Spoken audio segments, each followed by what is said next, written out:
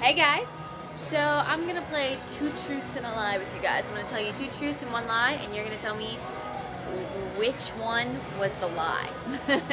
so okay, my two truths and a lie are I went to Hong Kong when I was 11, I was born in Sydney, Nova Scotia, and I love sushi. So tell me which one is false.